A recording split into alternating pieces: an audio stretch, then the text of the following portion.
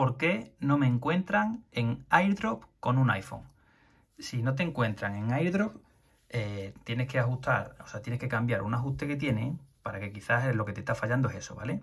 Lo que tienes que hacer primero es entrar en ajustes y luego tienes que irte a general.